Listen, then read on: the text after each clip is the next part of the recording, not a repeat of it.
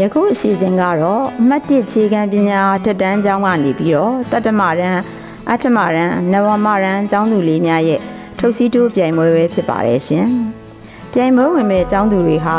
မြမရိုးရဝတ်စုံဖြစ်တဲ့ကျောင်းဝတ်စုံများနဲ့ရှင်ပြိုင်မှာဖြစ်ပါတယ်။ပြိုင်ပွဲဝင်အုပ်စုများကိုခေါင်းစည်းကျိုးအယောင်နဲ့ခွဲခြားထားပါတယ်။တတ္တမရန်ကျောင်းသူများကခရမ်းရောင်အတ္တမရန်ကျောင်းသူများကအဖြူရောင်နဲ့နဝမရန်ကျောင်းသူများက လီမော်ရောင်ကျိုးလေးများနဲ့ချီထားပါတယ်။မြမရိုးရာရည်ကြီးမှုအမွေနှစ်တစ်ခုအဖြစ်မြမတနခါကိုပြိုင်ပွဲဝင်ကျောင်းသူများအားဆီယာမများကလိမ့်ချယ်ပြင်ဆင်ပေးထားပါတယ်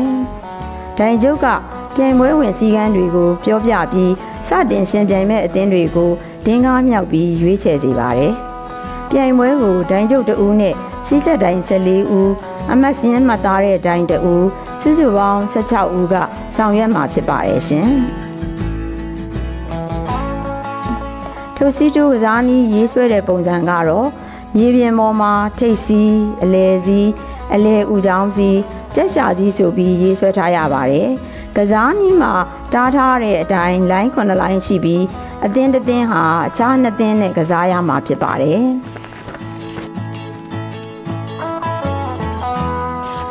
ထုတ်စီတိုးကစားမဲ့သူတွေကိုအဖွဲနှစ်ဖွဲခွဲထားပါတယ်။အသင်းတစ်စင်းစီမှာကစားသမား9ဦးစီပါဝင်ပါတယ်။ တသင်းစီကို15မိနစ်ပေးထားပြီးမြင်းတလျှောက်ထုတ်စီတိုးကစားပြီးကြံအသင်းကမမိအောင်မဖမ်းမိနိုင်အောင်ကစားရပါမယ်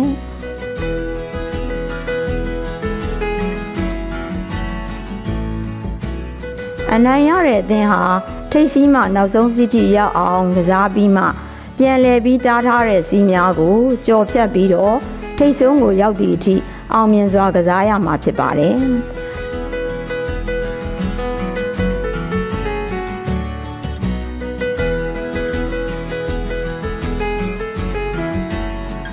ဒီကစားနည်းဟာဆိုရင်ရုပ်ပိုင်းဆိုင်ရာကာယလှုပ်ရှားမှုတွေပါဝင်ပြီးအတင်းတတင်းကနေပြီးတော့အခြားတတင်းကိုကြော်ဖြတ်တဲ့အချိန်မှာမြင်းလိုင်းတွေကိုပိတ်ပြီးတော့ကစားရမှာဖြစ်ပါတယ်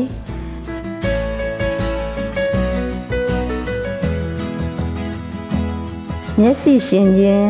ဆုံးဖြတ်ချက်မှန်ကန်ခြင်းနှင်းမြန်စွာလှုပ်ရှားခြင်းတို့ဟာ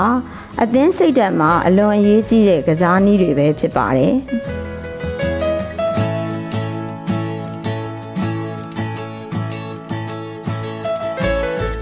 ပြိုင်ပွဲဝင်အသင်းသုံးသင်းဟာပြိုင်ပွဲနှစ်ပွဲစီကစားရမှာဖြစ်ပြီးရမှတ်တွေကိုတော့မှတ်တမ်းတင်ထားမှာဖြစ်ပါတယ်ရှင်။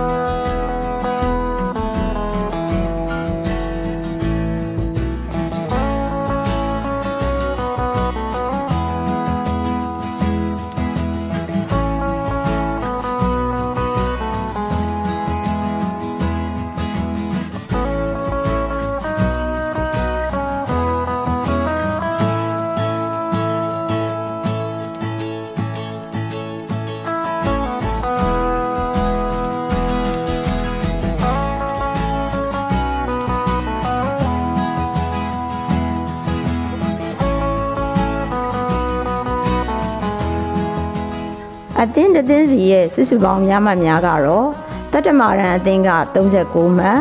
အထမရန်အသင်းက48မှတ်နဲ့နဝမရန်အသင်းက38မှတ်တို့ပဲဖြစ်ပါတယ်အထမရန်အသင်းကအများဆုံးဖြင့်အနိုင်ရရှိသွားပါတယ်ရှင်